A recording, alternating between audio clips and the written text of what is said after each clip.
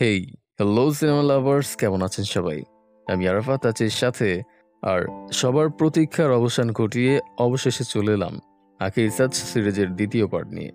প্রথম পার্টে প্রথম তিনটি এপিসোড এক্সপ্লেন করেছিলাম। যারা এখনও দেখেননি, তারা ঝটপট দেখে আসুন। ডিসক্রিপশন বক্স এবং কমেন্ট বক্সে প্রথম পার্টের লিঙ্ক পেয়ে যাবেন। সো আজ কথা বলব সিরিজটির চতুর্থ, পঞ্চম এবং ষষ্ঠ, অর্থাৎ সর্বশেষ এপিসোড নিয়ে। তো আর কথা না বাড়িয়ে let's go for the explanation চতুর্থ এপিসোডের শুরুতে আমরা দেখতে পাই, ভুবন দীর্ঘদিন কথা বলতে না পারার পর হঠাৎ একদিন জাওহারের ভয়েসে বলতে শুরু করে। কিন্তু কিছুক্ষণ কথা বলার পরেই হঠাৎ অজ্ঞান হয়ে পড়ে যায়।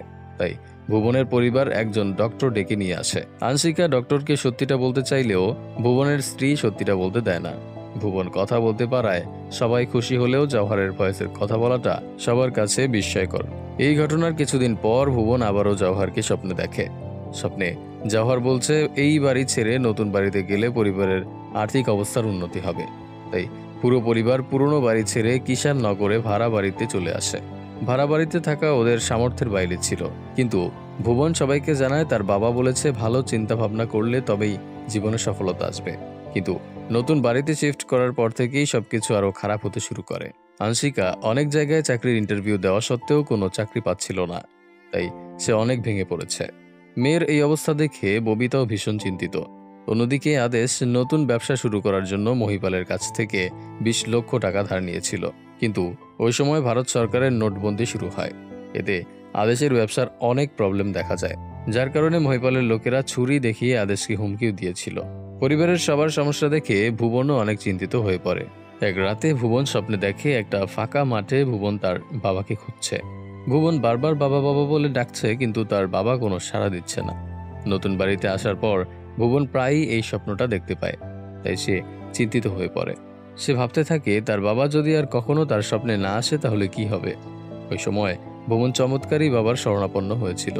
ভুবন চমৎকারী বাবাকে বলেছিল, তার ভুলের কারণেই তার বাবার মৃত্যু হয়েছে। এরপর থেকে সে স্বপ্নে তার বাবাকে দেখতে পেত। কিন্তু নতুন বাড়িতে আসার পর সে তার বাবাকে আর দেখতে পাচ্ছে না। এসব নিয়ে ভুবন অনেক অস্থির হয়ে পড়ে। চমৎকারী বাবা ভুবনের মন শান্ত রাখার জন্য একটা তাবিজ দেয়। সেটা নিয়ে ভুবন বাড়ি ফিরে যায়। এরপর একদিন একটা ঝিলে সাঁতার কাটতে গিয়ে ভুবন কল্পনায় সেই দৃশ্যটা দেখতে পায় যেটা সে স্বপ্নে দেখে। ভুবন চিৎকার করে তার বাবাকে ডাকছে, কিন্তু তার বাবা সাড়া দিচ্ছে না। দৃশ্যটা চোখে ভাসতেই ভুবন পানিতে তলিয়ে যেতে শুরু করে। ভুবন প্রায় মারা যাচ্ছিল ঠিক তখনই কল্পনায় ভুবন তার বাবাকে দেখতে পায়। সাথে সাথে ভুবন আবার পানির নিচ থেকে ভেসে ওঠে। ভুবন ভেবে নেয় তার মৃত বাবা আবার তার কাছে ফিরে এসেছে। খুশি মনে সে বাড়ি ফিরে যায়। বাড়িতে ঢুকতেই শুনতে পায় করুণা এবং পুনাম করুণার ছেলে আম্বরের ব্যাপারে কথা বলছে। তারা নতুন বাড়িতে শিফট করেছে অনেক দিন হয়ে গেছে, কিন্তু এখনও কোনো স্কুলে আম্বরের অ্যাডমিশন হয়নি। ভুবন বলে একটা ভালো স্কুলে আম্বরের অ্যাডমিশন হয়ে যাবে। পরের দিনই সত্যি সত্যি একটা ভালো স্কুলে আম্বরের অ্যাডমিশন হয়। পুনম খুব খুশি হয়ে ভুবনকে জিজ্ঞেস করে, অ্যাডমিশনের জন্য কার কাছে সুপারিশ করেছিলে? ভুবন বলে, কারও কাছেই সুপারিশ করিনি। পুনম বলে, তাহলে আগে থেকে কি করে জানলে? ভুবন বলে, বাবা বলেছে, পরের দিন একটা বড় মাল্টি ন্যাশনাল কোম্পানিতে আংশিকার জব হয়ে যায়। এর কিছুদিন পরেই ভুবন একটা দোকান নিয়ে পেইন্টের বিজনেস শুরু করে। কিছুদিনের মধ্যে রাজাউত পরিবার একটা গাড়িও কিনে ফেলে। এর কিছুদিন পর আংশিকার বিয়ে ঠিক হয়ে যায়। ওই দিন ভুবনের কল্পনায় জওয়াহার ফিরে আসার পর ওদের পরিবারের সবকিছুই অনেক ভালোভাবে চলছিল। পরিবারের সবাই সব দিক থেকে উন্নতি করছিল। এই ঘটনাগুলো চমৎকারী বাবা আনায়াকে বলছিল। সবকিছু শোনার পর একজন মৃত মানুষের ফিরে আসার ব্যাপারটা আনায়ার একদমই বিশ্বাস হয় না। কিন্তু চমৎকারী বাবা বলে, আমি যা যা বলছি সবটাই সত্যি। আনায়া জিজ্ঞেস করে, তাহলে আপনি বলতে চাচ্ছেন আপনি ওই পরিবারকে সুইসাইডের জন্য উৎসাহিত করেননি? চমৎকারী বাবা বলে, আমি কখনোই এমনটা করিনি। যেহেতু চমৎকারী বাবা হত্যাকাণ্ডের সাথে জড়িত নয়, তাই আনায়া তার টিম নিয়ে দিল্লি ফিরে আসে। এর মাঝে সাইবার টিম সিসিটিভি ফুটেজে দেখা সেই বাইকটার নাম্বার বের করে রাঘবের কাছে দেয়। ঘটনার আগের দিন রাতে একটা ত্রিশ মিনিটে ভুবনের দোকানের সামনে যে বাইকটাকে দাঁড়াতে দেখা গিয়েছিল, এটা সেই বাইক। এর পরের দৃশ্যে আমরা দেখতে পাই, আমান কিশোর নামের ওই ছোট্ট ছেলেটার সাথে দেখা করে রাজাবাদ পরিবারের ব্যাপারে জিজ্ঞেস করছে। কিশোর জানায়, ভুবন মাঝে মাঝেই তার বাবার গলায় কথা বলতো। এমনকি একদিন কিশোর নিজের চোখে দেখেছে ভুবন তার বাবার গলায় সবাইকে কিছু ইনস্ট্রাকশন দিচ্ছে। বাড়ির বাকি সদস্যরা ভুবনের বলা কথাগুলো মনোযোগ দিয়ে শুনছিল। আর আংশিকার সব কথা একটা রেজিস্টারে লিখে নিচ্ছিল। কথা বলতে বলতে এক পর্যায়ে ভুবন হঠাৎ করে অজ্ঞান হয়ে পড়ে যায়। এই ব্যাপারটা জানার পর, আমান রাজাওয়াত ভিলার ভেতরে যাওয়ার সিদ্ধান্ত নেয়। কিন্তু রাজাওয়াত ভিলার বাইরে পুলিশের কড়া পাহারা। তবুও আমান পুলিশের চোখ ফাঁকি দিয়ে বাড়ির ভেতরে ঢুকে পড়ে। বাড়ির ভেতরে ঢুকে পুরো বাড়িটা ভালোভাবে দেখতে থাকে। এরপর সে ভুবনের রুমে ঢুকে কিছু একটা খোঁজার চেষ্টা করে। তখনই পুলিশ চলে আসে। ওরা আমানকে অ্যারেস্ট করে পুলিশ স্টেশনে নিয়ে যায়। আমান পুলিশকে বলে, আপনারা যেমন কেসের ইনভেস্টিগেশন করছেন, তেমনি আমিও ইনভেস্টিগেশন করছি। তখন রাঘব ওই বাইকটার নাম্বার দেখিয়ে বলে, এটা তো তোমার বাইক। মধ্যরাতে ভুবনের দোকানের সামনে কেন গিয়েছিলে? আমান বুঝতে পারে সত্যিটা স্বীকার করা ছাড়া আর কোনো উপায় নেই। আমান জানায় এঙ্গেজমেন্টের তিন দিন আগেই আনশিকার সাথে আমানের ঝগড়া হয়েছিল। এঙ্গেজমেন্টের পর আবার সব ঠিকও হয়ে গিয়েছিল। কিন্তু দুজনের মধ্যে একটা দূরত্ব তৈরি হয়েছিল। সব মনোমালিন্য দূর করার জন্য ওরা নিরিবিলি একটা জায়গায় বসে কথা বলার সিদ্ধান্ত নেয়। এর জন্য আমান একটা হোটেল বুক করে। সন্ধ্যা সাতটার সময় আনশিকার হোটেলে পৌঁছানোর কথা ছিল। কিন্তু আটটা বেজে যাওয়ার পরেও আনশিকা হোটেলে যায়নি। আমান বারবার আনশিকাকে কল করে। আনশিকা কল রিসিভ না করায় আমানের অনেক টেনশন হচ্ছিল। তাই সকাল হওয়ার অপেক্ষা না করে আমার মধ্য রাতেই আনশিকার বাড়ির সামনে চলে যায়। সেখানে গিয়ে দেখে বাড়ির দরজা খোলাই আছে। বাড়ির ভেতরে ঢুকবে কিনা বুঝতে পারছিল না আমান। এর মাঝে হঠাৎ করে ইলেকট্রিসিটি চলে যায়। অন্ধকার হওয়ার পরেও কারও কোনো সারা শব্দ না পেয়ে আমার সরাসরি বাড়ির ভেতরে ঢুকে যায়। আর ভেতরে ঢুকেই দেখতে পায় পুরো পরিবার একসাথে উঠানে থাকা গাছের সাথে ঝুলছে। এই কথাগুলো বলতে গিয়ে আমান কেঁদে ফেলে। এরপর আমান বলে, ওদের ব্যাপারে আমি একটা ইনফরমেশন জানতে পেরেছি। মাঝে মাঝে ভুবন কিছু মন্ত্র পাঠ করতো আর পুরো পরিবার ভুবনের সাথে বসে পূজা করত। আনায়া জিজ্ঞেস করে, পুজোর মাঝখানে কি কেউ রেজিস্টারে কিছু লিখে রাখতো? আমান বলে হ্যাঁ। ইনভেস্টিগেশনের সময় পুলিশ ভুবনের দোকান থেকে দুটো রেজিস্টার পেয়েছিল। ওই রেজিস্টারে কিছু নীতিমূলক কথা লেখা আছে। আনায়া একজন কনস্টেবলকে বলে, ওই রেজিস্টার খাতাগুলো বের করে নিয়ে আসতে। আনায়া রেজিস্টার খাতাগুলো চেক করে দেখে একটা জায়গায় জওয়াহার লিখেছে, সবাই ভোর চারটায় ঘুম থেকে উঠে উঠানের গাছের নিচে প্রার্থনা করবে। আনায়ার সন্দেহ হয় এই লেখাগুলো জওয়াহারের নয়, কারণ জওয়াহারের মৃত্যুর আগে রাজওয়াত ফ্যামিলি তাদের পুরনো বাড়িতে থাকতো, আর ওই বাড়ির উঠানে কোনো গাছ নেই। আনায়া রাঘবকে বলে, আমার মনে হয় রেজিস্টারের এই কথাগুলো ভুবন জওয়াহার হয়ে লিখেছে। রাঘব বলে এই দুটো রেজিস্টারের একটা দুই হাজার আট সালের লেখা, আরেকটা লেখা হয়েছে দুই হাজার নয় সালে। আমার মনে হয় ওই বাড়িতে আরও কোনো রেজিস্টার আছে। আনায়া দ্রুত তার টিম নিয়ে রাজাওয়াত ভিলায় চলে যায়। পুরো বাড়ি তন্ন তন্ন করে খোঁজার পরও কোথাও কোনো রেজিস্টার পায় না। হঠাৎ কুকুরের ডাক শুনে আনায়ার মনে পড়ে, এই বাড়িতে কুকুরের জন্য আলাদা একটা ঘর আছে। আনায়া কুকুরের ঘরটা সার্চ করলে কুকুরের বিছানার নিচে কয়েকটা রেজিস্টার খুঁজে পায়, আর চতুর্থ এপিসোড এখানেই শেষ হয়। পঞ্চম এপিসোডের শুরুতে আমরা দেখতে পাই আনায়া তার টিম নিয়ে রেজিস্টারগুলো একসাথে করে ডেট অনুযায়ী সেগুলোকে অ্যারেঞ্জ করছে যেন পড়তে সুবিধা হয়। এছাড়া ইম্পর্টেন্ট ডেটগুলো আলাদাভাবে বোর্ডে লিখে মার্ক করে রাখছে। এরপর আনায়া রেজিস্টার পড়তে শুরু করে। এখানে ফ্ল্যাশব্যাকে দুই হাজার সতেরো সালের মার্চ মাসের ঘটনা দেখানো হয়। ভুবন তার স্ত্রীকে বলে, কিছুদিন আগে আমার সাথে একটা অদ্ভুত ঘটনা ঘটেছে। ঝিলে সাঁতার কাটার সময় আমার মনে হচ্ছিল কেউ একজন আমাকে পানির ভেতরে টেনে নিয়ে যাচ্ছে। আমি প্রায় ডুবেই যাচ্ছিলাম। সবকিছু শেষ হওয়ার আগ মুহূর্তে হঠাৎ সবকিছু স্বাভাবিক হয়ে যায়। পুনাম জিজ্ঞেস করে, তাহলে কি বাবা আবার ফিরে এসেছে?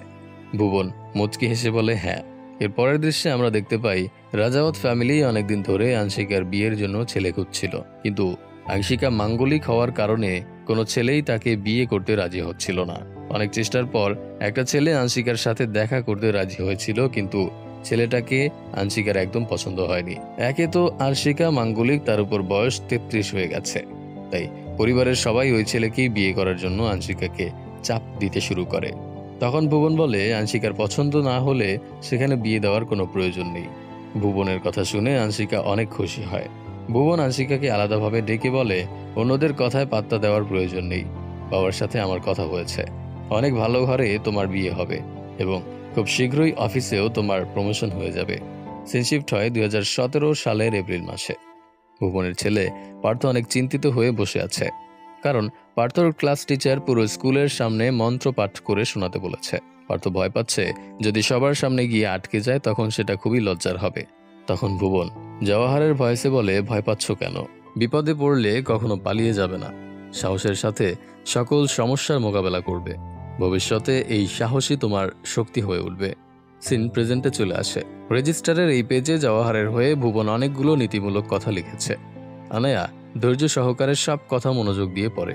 এদিকে এত দিনেও কেস সলভ না হওয়ায় মিডিয়া পুলিশ ডিপার্টমেন্টের উপর বিভিন্ন প্রশ্ন ছুটতে শুরু করেছে। পুলিশের সিনিয়র অফিসার মিডিয়ার সামনে বলে, ওই বাড়ি থেকে মোট নয়টা রেজিস্টার উদ্ধার করা হয়েছে। সেখানে অনেক ক্লু আছে। পুলিশ টিম সেগুলো পড়ে জানার চেষ্টা করছে কি হয়েছিল এই পরিবারের সাথে। এর আগে চমৎকারী বাবার আশ্রমের রেইড করার সময় যে দুজন কনস্টেবল মিডিয়ার কাছে ইনফরমেশন লিক করেছিল, ওরা আবারও টাকার বিনিময়ে মিডিয়ার কাছে রেজিস্টারের ইনফরমেশন লিক করার প্ল্যান করে। এর জন্য ওরা আনায়ার টিমের কনস্টেবল সুবোধকে ব্ল্যাকমেইল করে বলে, রেজিস্টারের কপি ম্যানেজ করে না দিলে তার প্রমোশন হতে দেব না। তাই সুবোধ অনেকটা বাধ্য হয়ে রেজিস্টার চুরি করতে রাজি হয়। কিন্তু রেজিস্টার তখন আনায়ার হাতে ছিল। আনায়া আবারও পড়তে শুরু করে। এখানে ফ্ল্যাশব্যাকে দেখানো হয় আদেশের নতুন দোকানের উদ্বোধন উপলক্ষে সবাই মিষ্টিমুখ করছে। সবার সাথে সাথে বিজয়া দেবীকেও মিষ্টি দিতে গেলে আদেশ রেগে যায়, কারণ বিজয়া দেবী দীর্ঘদিন ধরে ডায়াবেটিসের পেশেন্ট এ কারণে তার মিষ্টি খাওয়া একদমই নিষেধ। এমন একটা খুশির দিনেও এক টুকরা মিষ্টি খেতে না পারায় বিজয়া দেবীর কিছুটা মন খারাপ হয়। বিজয়া দেবীর মন খারাপ দেখে ভুবনেরও কষ্ট হয়। এর কিছুদিন পরেই একটা অদ্ভুত ঘটনা ঘটে যায়।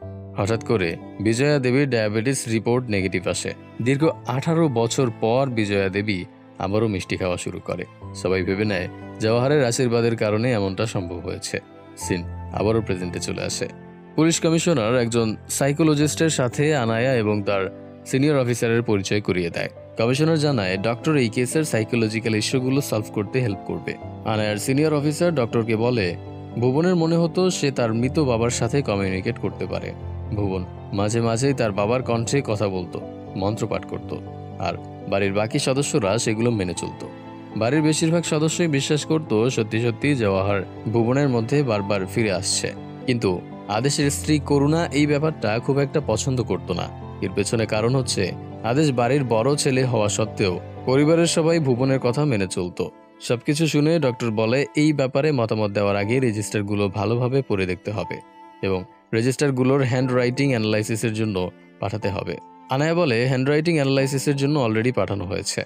এরপর ডক্টর বলে, ডেড বডিগুলোর সাইকোলজিক্যাল অ্যাডপসি করে রেজিস্টারের সাথে ম্যাচ করার চেষ্টা করতে হবে। তাহলে হয়তো আসল ঘটনা বোঝা যাবে। কমিশনার যত তাড়াতাড়ি সম্ভব আনায়াকে রেজিস্টারগুলো পড়ে শেষ করতে বলে।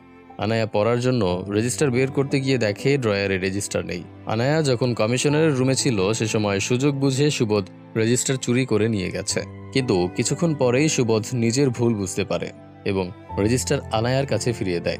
যে দুজন কনস্টেবল সুবোধকে ব্ল্যাকমেল করেছিল, আনায়া তাদেরকে ডেকে সাবধান করে ছেড়ে দেয়। এরপর সে আবার রেজিস্টার পড়তে শুরু করে। এখানে ফ্ল্যাশব্যাকে দুই হাজার সতেরো সালের জুলাই মাসের ঘটনা দেখানো হয়। প্রায় বারো বছর পর ভুবনের এক পুরনো বন্ধু ভুবনের সাথে দেখা করতে এসেছে। ভুবন, তার সাথে ঘটে যাওয়া সমস্ত ঘটনা ওই বন্ধুকে খুলে বলে। ভুবন বলে, আমি আমার বাবাকে আমার শরীরের ভেতর অনুভব করতে পারি। বাবা চলে গেলে মনে হয় শরীরের সব শক্তি যেন নিঃশেষ হয়ে যায়। ওই সময় ভীষণ ক্লান্ত লাগে। এসব শোনার পর ভুবনের বন্ধু অনেকটা জোর করে ভুবনকে একজন সাইকিয়াট্রিস্টের কাছে নিয়ে যায়। ডক্টর ভুবনকে বলে, সাধারণত সিরিয়াস হেড ইঞ্জুরির কারণে অনেক সময় এরকম অবাস্তব মাইন্ড সেট তৈরি হয়। আপাত দৃষ্টিতে অবাস্তব কিছু জিনিসকে বাস্তব মনে হতে থাকে। ডক্টর ভুবনকে কিছু ঔষধ দিয়ে বলে, নিয়মিত সেবন করলে ধীরে ধীরে সব ঠিক হয়ে যাবে। ওষুধ নিয়ে ভুবন বাড়িতে ফিরে যায়। ওই রাতে ভুবন আবারও জওয়াহারকে স্বপ্নে দেখে। জওয়াহার ভুবনের ওপর রাগ করে বলে, তুই কি আমাকে তোর কাছ থেকে দূর করার জন্য ডক্টরের কাছে গিয়েছিলে? ভুবন বলে, আমি শুধু আমার বন্ধুর কথা রাখতে গিয়েছিলাম। ডক্টরের দেওয়া একটা ওষুধও আমি খাইনি। জওয়াহার ভুবনকে বলে, এবার আমি একটা বড় উদ্দেশ্য নিয়ে এসেছি। আমাদের পরিবারের উন্নতির জন্য এবার আমাদেরকে অনেক বড় কিছু করতে হবে, যাতে আমাদের পরিবার সফলতার একদম শীর্ষে উঠতে পারে। এরপর সিন প্রেজেন্টে চলে আসে। রেজিস্টারে সংস্কৃত ভাষায় কিছু মন্ত্র লেখা ছিল, যেগুলোর অর্থ আনায়া এবং রাঘব বুঝতে পারছিল না। আনায়ার এক্স হাজব্যান্ড জয়দীপ সংস্কৃত ভাষায় পারদর্শী, তাই আনায়া তার কাছ থেকে এই মন্ত্রগুলোর অর্থ জানতে চায়। এর মাঝে ফরেন্সিক ল্যাব থেকে জানানো হয়, রাজা ওয়াদ পরিবারের প্রতিটি সদস্যের মৃত্যু একই সময় হয়েছে। এর মানে ওদের পায়ের নিচ থেকে সবগুলো টুল একসাথে একই সময় সরিয়ে ফেলা হয়েছে। সবটা শুনে আনায়া বলে, পরিবারের সদস্যরা ছাড়াও অন্য কারও উপস্থিতি না থাকলে এটা কখনোই সম্ভব নয়। আনায়া আবার রেজিস্টারটা পড়তে শুরু করে। এখানে ফ্ল্যাশব্যাকে দুই হাজার সতেরো সালের নভেম্বর মাসের ঘটনা দেখানো হয়। বিজনেসে অধিক লাভের আশায় আদেশ নতুন বিজনেস শুরু করার সিদ্ধান্ত নেয়। এর মাঝে ভুবন তাদের পুরনো বাড়িতে যায় বাড়ির দলিল নিতে। সেখানে দলিলের সাথে কিছু পুরনো কাগজ খুঁজে পায়। বাড়িতে ফিরে ভুবন সবাইকে বলে, বাবা আমাদের সবার কাজে অনেক খুশি হয়েছে। আমাদের জীবনের যে বাধাগুলো আসছে, সেগুলো আমাদের জীবনের পরীক্ষা। ভুবন আরও বলে, বাবা বলেছে আমাদের সবাইকে নিজেদের কাজে মন দেওয়ার পাশাপাশি একটা সাধনা করতে হবে। এই সাধনার নাম দেওয়া হয়েছে অক্ষয় সাধনা। কি এই অক্ষয় সাধনা? তবে কি এই অক্ষয় সাধনাই রাজওয়াত পরিবারের মৃত্যুর কারণ? এই প্রশ্ন রেখে শেষ হয়ে যায় সিরিজটির পঞ্চম এপিসোড ষষ্ঠ অর্থাৎ অন্তিম এপিসোডে আমরা দেখতে পাই রাজাওত পরিবারের সবাই ছুটি কাটাতে পাহাড়ে গিয়েছিল। সেখানে পাহাড়ি রাস্তায় আদেশ গাড়ি ড্রাইভ করছিল, আর বাকি সবাই গাড়ির ভেতরে অনেক আনন্দ করছিল। হঠাৎ করে আদেশের অনেক ঘুম পায়। প্রচণ্ড ঘুমে আদেশের চোখ বন্ধ হয়ে আসে, যার ফলে গাড়ি পাহাড় থেকে নিচে পড়তেই যাচ্ছিল, সময় মতো আদেশ গাড়িটা ঘুরিয়ে নেয়। এই ঘটনায় সবাই প্রচুর ভয় পেয়েছিল। ভুবন সবাইকে সান্ত্বনা দিয়ে বলে, তোমরা ভয় পেও না, বাবা সবসময় আমাদের সাথেই আছে। বাবা সব সামলে নেবে। এই ঘটনার পর আদেশের স্ত্রী করুণাও বিশ্বাস করতে শুরু করে, ভুবনের মাধ্যমে জওয়াহার তাদের সাহায্য করছে। এই ঘটনার কিছুদিন পরেই আমানের পরিবার আনিষ্কার জন্য বিয়ের প্রস্তাব দেয়। রাজাওয়াত পরিবারের সবাই আমানকে অনেক পছন্দ করেছে। তাই তারা সিদ্ধান্ত নেয়, সবকিছু ঠিকঠাক থাকলে আমানের সাথেই আনশিকার বিয়ে হবে। কিছুদিন পর আমান এবং তার পরিবার আনশিকাকে দেখতে আসে। আমানকে ভুবনের অনেক বেশি ভালো লাগে। কথা বলতে বলতে এক পর্যায়ে ভুবন আমানকে জিজ্ঞেস করে, তোমার বাবার এত বড় বিজনেস থাকা সত্ত্বেও তুমি ব্যাংকে জব করছ কেন? আমান বলে, আমার বাবা সবসময় চেয়েছে আমি নিজের মতো করে নিজের ক্যারিয়ার গড়ে তুলব। এরপর ভুবন আমানকে বলে বিজনেস বাড়ানোর জন্য আমরা ব্যাংক থেকে লোন নেওয়ার কথা ভেবেছিলাম। কিন্তু কোন ব্যাংক থেকে লোন নিলে ভালো হবে সেটা বুঝতে পারছি না। আমান বলে, আমাদের ব্যাংক থাকতে আপনি অন্য কোথাও কেন যাবেন? আমাদের ব্যাংকে সবথেকে কম ইন্টারেস্টে লোন পাবেন আপনি। ভুবন, আমানের কথায় রাজি হয়। বর্তমান সময়ে আনায়া আমানকে জিজ্ঞেস করে, তুমি রাজাওয়াত পরিবারকে ব্যাংকে লোন দিয়েছ, এটা পুলিশকে জানোনি কেন? আমান বলে, আমি ভেবেছিলাম এটা বলার মতো কোনো ইম্পর্টেন্ট বিষয় নয়। আনায়া বলে, কোনটা ইম্পর্টেন্ট আর কোনটা না, এটা ডিসাইড করার দায়িত্ব আমাদের। আমান বলে, রাজাওয়াত পরিবার ব্যাংক থেকে দুই কোটি টাকার লোন নিয়েছিল। এখানে ফ্ল্যাশব্যাকে দুই হাজার আঠারো সালের জানুয়ারি মাসের ঘটনা দেখানো হয়। ব্যাংক থেকে লোন পাওয়ার পর আদেশ অনেক খুশি হয়। কিন্তু ভুবনের একটু মন খারাপ হয় কারণ ভুবনের বাবার পুরনো বাড়িটা বন্ধ করে খেয়ে লোন নেওয়া হয়েছে। আদেশ ভুবনকে সান্ত্বনা দিয়ে বলে, চিন্তা করিস না, খুব শীঘ্রই বাড়িটা ছাড়িয়ে নেব। এর কিছুদিন পর ভুবন পরিবারের সবাইকে জানায় তার বাবা অর্থাৎ জওয়াহার ভালো নেই। ভুবন বলে, কাল আমি স্বপ্নে দেখেছি, বাবা অনেক কষ্ট পাচ্ছে। বাবা মুক্তি চাচ্ছে, কিন্তু পারছে না। দোকানের জন্য লোনের ব্যবস্থা তো হয়ে গেছে, এখন দোকান ভালোভাবে চালানোর ব্যবস্থা করতে হবে, নয়তো সব কিছুই শেষ হয়ে যাবে। পুরো পরিবার পথে বসবে। বিজয়া দেবী জিজ্ঞেস করে, তোমার বাবা কি বলেছে? তার শান্তির জন্য আমাদের কি করা উচিত? ভুবন বলে, সবার আগে আংশিকার মাঙ্গলিক দোষ কাটানোর পূজা করতে হবে। ভুবনের কথা মতো রাজাওয়াত পরিবার আংশিকার মাঙ্গলিক দোষ কাটানোর জন্য একটা গাছের সাথে আংশিকার বিয়ে দেয়। এর কিছুদিন পর আংশিকার এঙ্গেজমেন্টের আয়োজন শুরু হয়। পুনম অনেক এক্সাইটেড হয়ে ভুবনকে জিজ্ঞেস করে এঙ্গেজমেন্ট প্রোগ্রামে কাকে কাকে ইনভাইট করবে? ভুবন বলে, বেশি কাউকে ইনভাইট না করে প্রোগ্রামটা ঘরোয়াভাবে করব। ভুবন পুনমকে সাবধান করে বলে, যাই হোক না কেন, পরিবারের সিক্রেট যেন বাইরের কেউ জানতে না পারে। বিশেষ করে রেজিস্টারগুলো যেন কারও হাতে না পড়ে। ভুবন নিজেই সবগুলো রেজিস্টার কুকুরের ঘরে লুকিয়ে রাখে যাতে কেউ সেগুলোর ব্যাপারে জানতে না পারে। সিন প্রেজেন্টে চলে আসে। সাইকোলজিক্যাল অ্যাটপসি করার পর সাইকোলজিস্ট জানায়, এই পরিবারটা দীর্ঘ সময়ের পরিকল্পনা করেছিল। সবথেকে অদ্ভুত ব্যাপার হলো, রেজিস্টারে আনশিকা ছাড়াও আরও একজনের হ্যান্ডরাইটিং আছে। অবিশ্বাস্য হলেও সত্য, এই হ্যান্ডরাইটিংটা মূলত মৃত জওয়াহারের। কমিশনার জিজ্ঞেস করে, এটা কীভাবে সম্ভব? ডক্টর বলে, ভুবন তার অবচেতন মনে নিজেকে জওয়াহার ভাবত। তাই জওয়াহারের কিছু বৈশিষ্ট্য ভুবন নিজের মধ্যে ধারণ করতে পেরেছিল। এরপর আবার ফ্ল্যাশব্যাকে দেখানো হয় আনশিকার এঙ্গেজমেন্ট ঘরোয়াভাবে হলেও অনেক জাঁকজমকভাবেই হয়েছে। পরিবারের সবাই ওই প্রোগ্রামে অনেক আনন্দ করেছে। এর কিছুদিন পর এক রাতে ভুবন আবার জওয়াহারকে স্বপ্নে দেখে। সেখানে জওয়াহার ভুবনকে বলছিল, এবার আমাকে মুক্তি দিয়ে দাও। আজ থেকে পুরো পরিবারের দায়িত্ব তোমার উপর। পরের দিন সকালে ভুবন তার স্ত্রী পুনমকে স্বপ্নের ব্যাপারে জানায়। এরপর ভুবন বলে, বাবা, বাড়ির কাগজপত্রের সাথে অক্ষয় সাধনার নিয়ম লেখা কাগজটাও রেখেছিল। হয়তো বাবা চাচ্ছে তার পরিবার অক্ষয় সাধনা করুক, হয়তো এটাই তার শেষ ইচ্ছা। এরপর রাতের বেলা পুরো পরিবার একসাথে মন্ত্র পাঠ করে পূজা করতে শুরু করে। ওই সময় আবারও ভুবনের মাঝে জওয়াহার চলে আসে। জওহার বললে, তোমরা সবাই এমনভাবে আনন্দ করছ যেন আঞ্চিকার বিয়ে হয়ে গেছে। ভুলে যেও না, এর আগেও বিয়ে ঠিক হওয়ার পর আবার ভেঙে গেছে। এবারও এমনটা হতে পারে। তবে আংশিকার জন্য এমন ছেলে আর খুঁজে পাওয়া যাবে না। আংশিকা জিজ্ঞেস করে, তাহলে আমাদের কি করা উচিত যাতে বিয়েটা ভেঙে না যায়? জওহার বলে, চারশো বছরে এই প্রথম সমস্ত গ্রহ একই সরলরেখায় আসতে চলেছে। ওই দিন পুরো পরিবারকে আমার কথা মতো অক্ষয় সাধনা করতে হবে। জওহার সবাইকে সতর্ক করে বলে, মনে রাখবে সম্পূর্ণ শ্রদ্ধার সাথে এই সাধনা না করলে এর ফলাফল অনেক ভয়ানক হবে। এইটুকু বলেই ভুবন অজ্ঞান হয়ে যায়। অর্থাৎ জওহার ভুবনের মধ্য থেকে বের হয়ে যায়। বর্তমান সময়ে রেজিস্টার নিয়ে ব্যস্ত থাকায় আনায়া সারাদিন তার মায়ের কল রিসিভ করেনি। রাতের বেলা আবার আনায়ার মা তাকে কল করে। এবার আনায়া কল রিসিভ করে ভুবনের সাথে ঘটে যাওয়া অদ্ভুত ঘটনাগুলোর কথা জানায়। আনায়া বলে, একজন লোক নিজের প্রিয়জনকে হারানোর পর এত বেশি ডিপ্রেশনে পড়েছে যে সে অদ্ভুত সব স্বপ্ন দেখতে শুরু করেছে। লোকটা স্বপ্নের মাঝে নিজের অস্তিত্বকেই হারিয়ে ফেলেছে। এসব শুনে আনায়ার মা বলে, তুমিও তো নিজের প্রিয়জনকে হারিয়ে ফেলেছ। তুমিও তো অদ্ভুত স্বপ্ন দেখো। এক মুহূর্তের জন্য আমার মনে হয়েছে তুমি নিজের কথা বলছো। মায়ের কথা শুনে আনায়ার ছোটবেলার বন্ধু বিদিশার কথা মনে পড়ে যায়। কোনো একটা কারণে অপমৃত্যু হয়েছিল বিদিশার। এরপর থেকে আনায়া তাকে নিয়ে অদ্ভুত সব স্বপ্ন দেখত। আনায়া রিয়েলাইজ করে, ভুবনের মতো সেও স্বপ্নের জগতে নিজেকে হারিয়ে ফেলেছে। আনায়া নিজের ব্যাপারে চিন্তা করা বাদ দিয়ে আবার রেজিস্টার করতে শুরু করে। দুই হাজার আঠারো সালের দশই এপ্রিল অর্থাৎ ঘটনার ঠিক পাঁচ দিন আগে ভুবন পুরো পরিবারকে একত্রিত করে অক্ষয় সাধনার ব্যাপারে জানায়। ভুবন বলে, অক্ষয় সাধনা এমন একটা সাধনা যার মাধ্যমে জীবিত মানুষের জীবন থেকে সমস্ত সমস্যা দূর হয়ে যায় আর মৃত মানুষ পাবে মুক্তি। এরপর ভুবন বলে, আমার কথাগুলো তোমাদের কাছে অদ্ভুত শোনাবে, কিন্তু এই সাধনা করার এইটাই নিয়ম। এই সাধনা করতে হলে আমাদের সবাইকে বটগাছের শিকড়ের মতো দাঁড়িয়ে থাকতে হবে।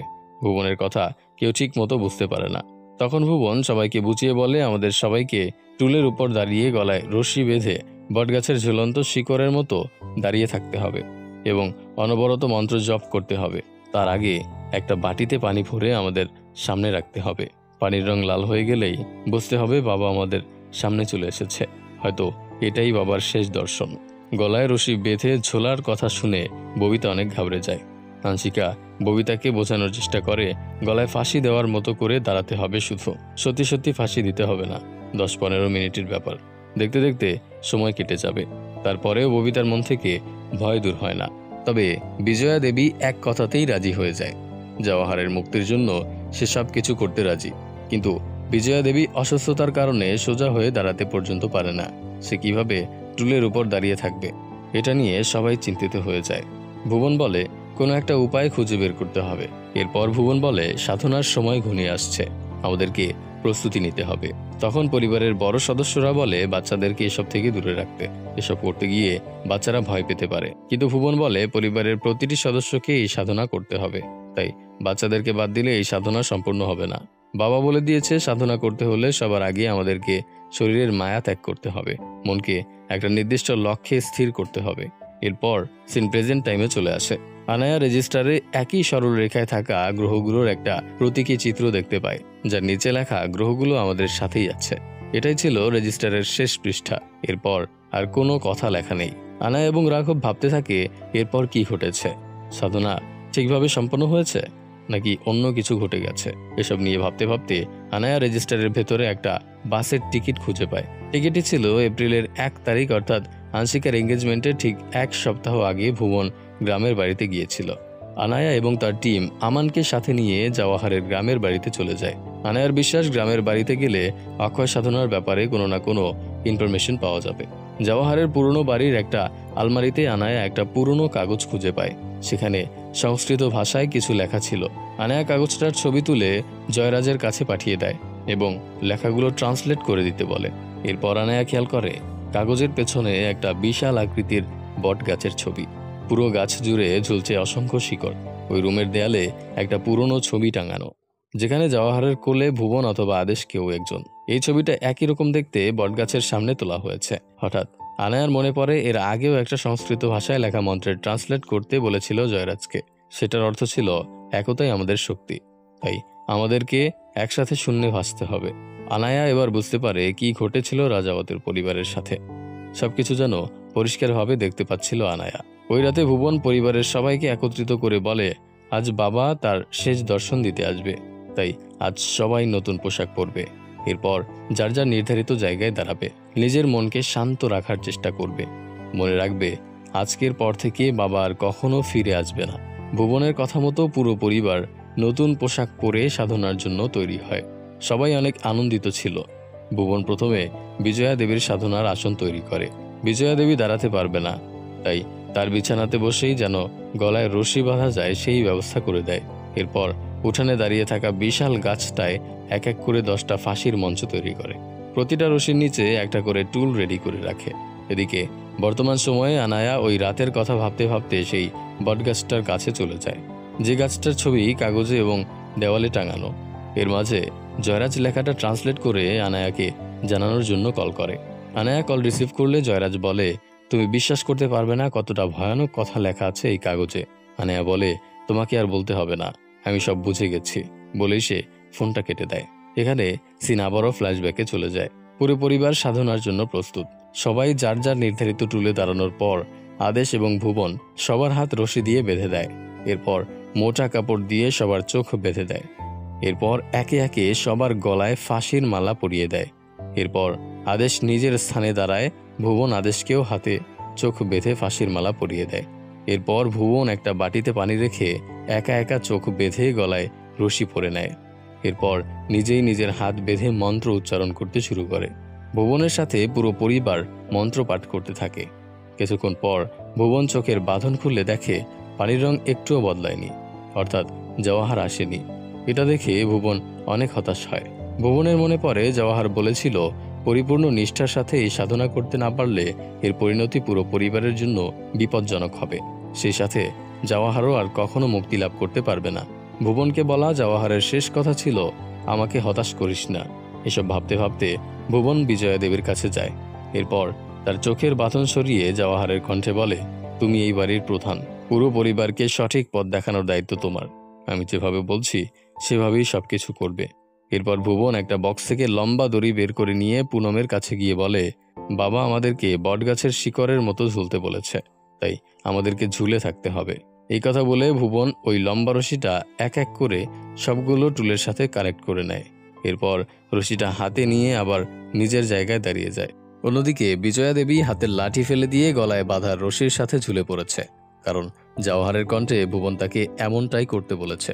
বিজয়া দেবী ঝুলে পড়ার পর ভুবন তার হাতের রশিটা অনেক জোরে টান দেয়, যার ফলে সবার পায়ের নিচ থেকে টুলগুলো একসাথে সরে যায়।